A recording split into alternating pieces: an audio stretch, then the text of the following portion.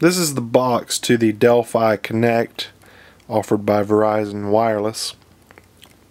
And I'll try to get a little closer here so you can see it a little bit better. Basically, it is a uh, device that plugs into your car and uh, you can track all of your important information in your car as well as have a mobile hotspot set up in your car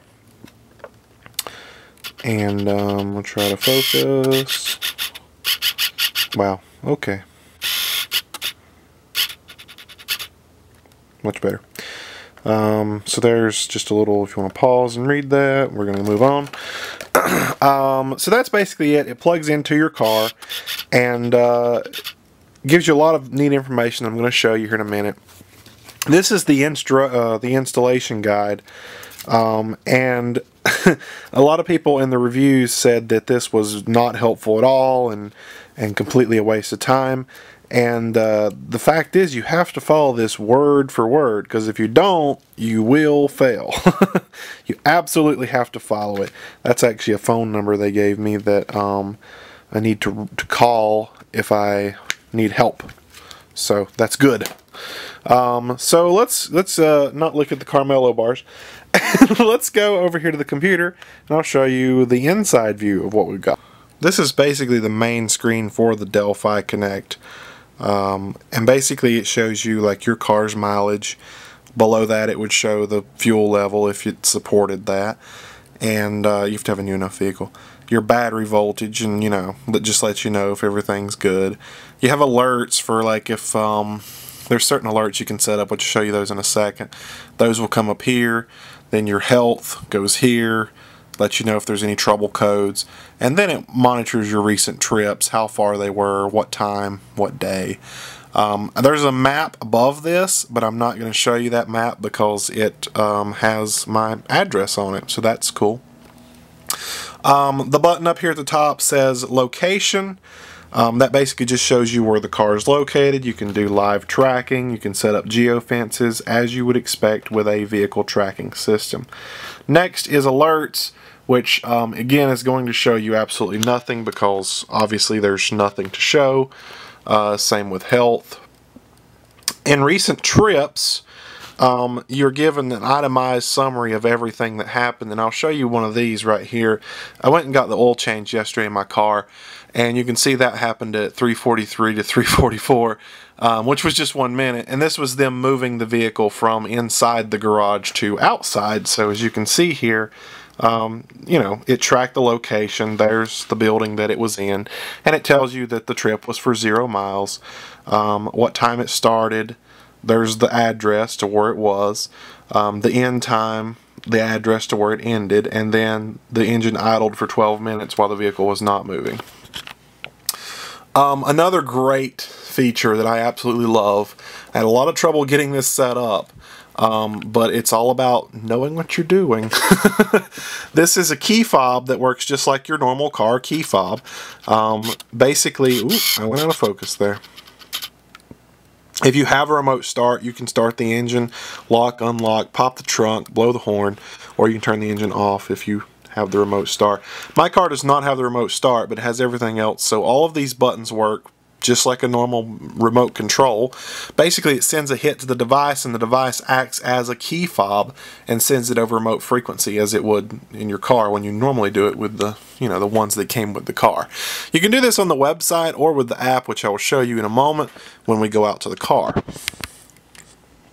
Let's get back to um, what we can do here. So basically, um, this is just managing like uh, I don't know why I'm listed twice, but apparently I have two mobile devices on this account. Uh, it tells me when I paired them, stuff like that. Um, the module itself, management, there's, you know, information on it, which you probably, you know, can destroy things with. Uh, here are the alerts. And basically, you, you can manually set these uh, as to what you want it to alert you on. But there's speed, and if you open it up, it tells you the speed threshold is um, not visible. 75.2, so if the car goes past 75 miles per hour, it will send a text message saying, hey, your car is speeding. So that's a thing. Um, and you click the wrong button. Uh, engine RPMs are set to 4,000 RPMs. The check engine light, if anything ever, you know, the check engine light comes on, it will tell me exactly what's wrong with it. Uh, battery level gets below 11 volts, it will alert me on that.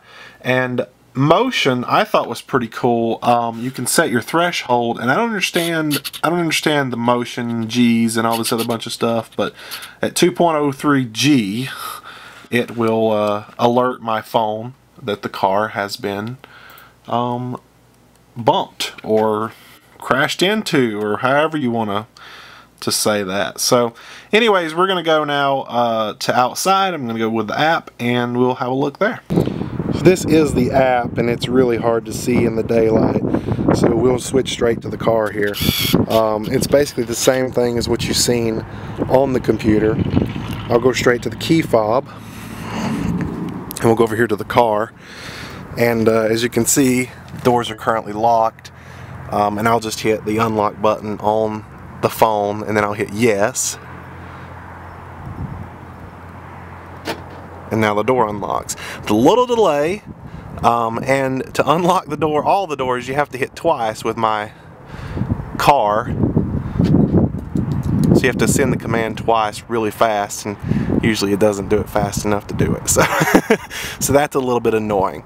Um, another thing with locking the car, you do this, and my car has a if you lock it twice, it will do a chirp to let you know the car is locked. So you're sitting here trying to spam this button twice, and as you can see, it's not that easy to do that. See, I didn't get it fast enough, it didn't chirp. Same with unlocking. See, I can't, I can't get it. With the confirmation that pops up, do you want to do this? It's just uh, it's too slow. Now you can actually link your phone up to Bluetooth. Let's see if we can pull that off right quick.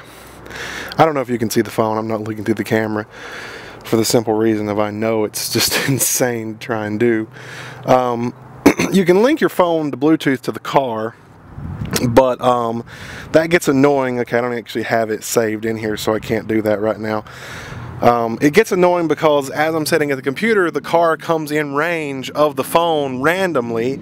And so it's like, hey, do you want to communicate with your car now? And it just pops up on your phone every five seconds. Just, hey, do you want to do this? It does have the trunk pop feature, which I can use. And as you heard the trunk pop, my trunk has this wing on it so it doesn't lift itself up, but um, just one more thing about the car. So, um, so yeah, that's the hard part is, is uh, trying to hit the button twice because you need to hit it twice. And um, uh, like I said earlier, it doesn't have the remote start, so I looked into trying to get um, an aftermarket remote start installed in the car that would work with this. Uh, unfortunately, the only one they have that would work with this is a system where if you lock the doors three times, and within like a 10 second interval it would start the car. If you if you lock it twice it beeps the horn. Three times would start the car. Unfortunately if I can't lock it two times within 10 seconds with this three times definitely would not work. So um, it has its fallbacks and disadvantages but um, the great part about this particular feature where I can use my phone is it works everywhere. I could be halfway across the country anywhere and I would still be able to unlock my car. That's a great plus to me Anyways, I've only had this system for about 24 hours now, and I really am liking it. I'll do a more in-depth review if I come to any new conclusions afterward, but at this point, I think it's a great buy. I did get the uh, 199 version that does put a Wi-Fi hotspot on my car, so anywhere I go, I'll have Wi-Fi, and uh, you can actually set that to time out up to two hours after you turn your car off. Anyways, I'm going to go inside and try to get this video up for you guys. Hope you enjoyed it. I just want to give you guys one more look at this keypad you have on your phone. I know you couldn't see it outside. Basically, when you hit lock, it does are you sure and then yes and then it pretty much freezes everything until it can get the confirmation that the card did the command. So by the time you try to hit it again and go through that entire process, you've waited too late and you don't, you're with it, you're outside your 10 second thing. Anyways, that's all I wanted to show you. I knew you couldn't see it outside.